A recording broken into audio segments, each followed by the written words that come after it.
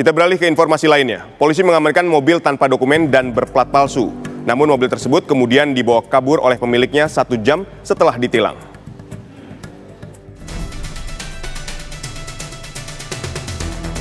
Herdi Pranajaya terekam CCTV saat membawa kabur mobil miliknya yang terparkir di halaman Mapolresta Bandar Lampung. Sebelumnya, mobil Herdi diamankan polisi dalam razia kendaraan akibat mobil menggunakan plat nomor palsu dan tak bisa menunjukkan dokumen kendaraan. Namun, satu jam setelah ditilang, Herdi membawa kabur mobilnya menggunakan kunci duplikat.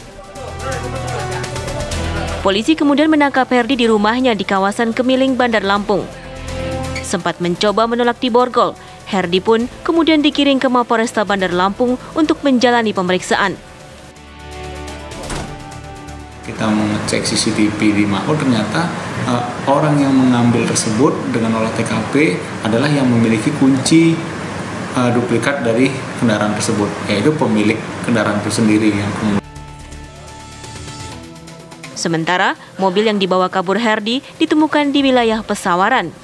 Polisi masih memburu pihak yang menjual mobil kepada Herdi. Dari Bandar Lampung, Lampung, Pujian Syah TV One mengabarkan.